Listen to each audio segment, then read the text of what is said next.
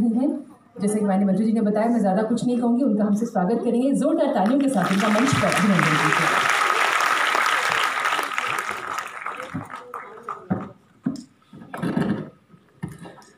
Good afternoon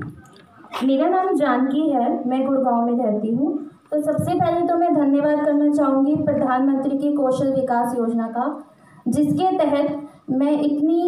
सौभाग्यशाली हूँ कि मैं आप सबके सामने खड़े होकर कुछ बोल पा रही हूँ। विभाग के बहुत से विषय प्रवीण जी ने रखे। आज हमने अब तक जो पहले ये स्किल डेवलपमेंट थोड़े थोड़े अंश में कई विभागों में होता था, आज प्रधानमंत्री जी की पहल पर चौदह पंद्रह में स्थापित होने के बाद और ख़ास करके जब उसका सेकेंड पार्ट सोलह से बीस पी एम योजना और उसके पुराने जितने सेटअप हैं S T I I T I ये सब मिल करके इस देश में एक बहुत अच्छा वातावरण बनाया स्किल डेवलपमेंट का और उसमें मैं इस बात के लिए आपको जानकारी देने में मुझे प्रसन्नता है कि अगर हमने तिहत्तर लाख लोगों को इन चार वर्षों के सफ़र में